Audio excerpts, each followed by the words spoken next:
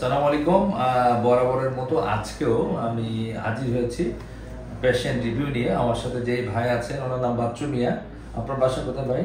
আমার বাসা মানিকগঞ্জ। মানিকগঞ্জে। তো ওনার আসলে দেড় মাস আগে প্রায় অপারেশন করেছিলাম। ওনার যেটা প্রবলেম ছিল ওনার কোমর ব্যথা হতো প্রচণ্ড এবং সাথে ওনার পায়ের পাতা পড়ে গিয়েছিল। ওনার পায়ের পাতা পড়ে যায় উনি হাঁটতে চলতে গিয়ে অনেক কষ্ট হতো ওনার। এবং অনেক দিন ধরে উনি ভুগছিলেন। প্রায় এক দেড় বছর ধরে না আমি প্রায় সাত বছর আট বছর সাত আট বছর ধরে। ওনার মুখ থেকে শুনব আসলে অপারেশনের পরে উনি কেমন আছেন আসলে? কোমর থেকে ব্যথা হইতে পায়ের মাজার এখান থেকে নাইমে নিচ দিকে নাইমে পায়ের পাতার ওখান যায় জিরকিত টাটাইতো আমি পাও কোনো দিকে রাখতে পারতাম না। অনেক ডাক্তার দেখাইছি জায়গায় জায়গায় হয়তো কিছু ওষুধ দিত খাইতাম হয়তো কমতো। কিন্তু দুই, চার দিন যাওয়ার পর আবার আবার আগের মতো শুরু হয়ে যেত। কিন্তু আমরা ভালো হয়তো থাকতে পারতাম না। এই যাবত আমি এখন অপারেশন হওয়ার পর থেকে, অপারেশন থিয়েটার যাওয়ার পর তখন আমার ব্যথা ছিল অনেক। কিন্তু অপারেশন করার পর যখন আমার জ্ঞান ফিরছে, তখন থেকে দেখি আমার মাজার ব্যথাটা নাই। ব্যথা আমার মধ্যে ভালো। আমি অপারেশন হয়েছি আজকে পরে এক মাস দেওয়ার দিন হলো। এখন আমি ব্যথা মধ্যে থেকে অনেকটা সুস্থ আছি, ভালো আছি। আমার পায়ের পাতাটা পড়ে গেছিল। হয়তো আগে থেকে একটু দাম ভালো হতেছে ওটা একটু সময় লাগবে আচ্ছা এখানে একটু জিনিস বলে নিই। ওনার যে প্রবলেম হয়েছিল দীর্ঘদিন ধরে উনি আসলে ট্রিটমেন্টটা সঠিকভাবে যদি না নেওয়ার ফলে ওনার পায়ের পাতা পড়ে গিয়েছিল। এটাকে আমাদের ভাষায় কডাইকনের সিনড্রোম বা ইম্পাইডিং কডাইকন সিনড্রোম পায়ের পাতা পড়ে যাওয়া আরও খারাপ অবস্থায় যেতে পারতো। যদি প্রস্রাব পায়খানা আটকে যেত অথবা সেক্সুয়াল ফাংশনগুলো হারিয়ে যেত অথবা দুই পা যদি অবশ হয়ে যেত, এই যে অবস্থাটা দাঁড়ায়, এটাকে আমরা কডাইকনের সিনড্রোম বলি। ওনার কাছে সেরকম হতে পারতো বাট অপারেশনটা করার ফলে ওনার সেই প্রবলেমটা আর দাঁড়ায়নি। বাট এখনও ওনার কিন্তু পায়ের কিছুটা দুর্বলতা রয়ে গেছে। যে কারণ হলো ওনার পায়ের কথা পড়ে গিয়েছিল।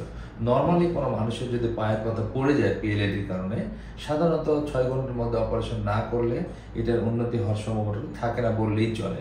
তারপরও আমরা কেন অপারেশন করেছি? অপারেশন করেছি হচ্ছে ওনার নার্ভগুলোকে রিলিফ দেওয়া যাতে করে আবার ভালো হয়ে নর্মাল অবস্থায় ফিরতে পারে, সেই একটা অবস্থা তৈরি করা। এক দুই নম্বর হচ্ছে যে, ব্যায়াম এবং ফিজিওথেরাপির পর এখন তার অবস্থানটা আগের যে নর্মালের দিকে নিয়ে আমরা চেষ্টা করব। এবং তিন নম্বর যে উদ্দেশ্য, সেটা হলো যে ওনাকে নর্মাল লাইফে বের করা। যেহেতু উনি একটা কর্মজীবী মানুষ, কাজ করে খান, তো ওনাকে অ্যাক্টিভ রাখা, ওনাকে কর্মক্ষম করে তোলা তোলা জন্য আমরা আসলে আর্লিয়ার সার্জারি করার সিদ্ধান্ত নিয়েছিলাম।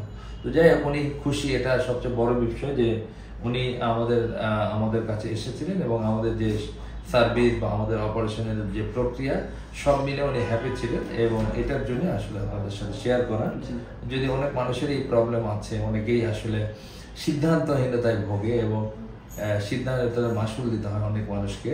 অনেক মানুষকে পায়ের পাতা পড়ে যায় বা অনেক মানুষ দীর্ঘদিন বিকলাঙ্গ হয়ে যায়। তো এরকম পরিস্থিতিতে যেন কেউ না পড়ে তাই আসলে আমার ভিডিও ওখানে অনেক রোগী আছে হয়তো আমি আমি করাবো সবাই এখন আমার দেখে অনেক এটা ই হচ্ছে সবাই হয়তো আসব আমি বলছি। আর স্যারের জন্য দোয়া করি স্যারও যেন ভালো থাকে সবাই যেন এভাবে স্যারের কাছে আসে। আসলে আমি মনে করি এসব সমস্যার সমাধান হয়ে যাবে।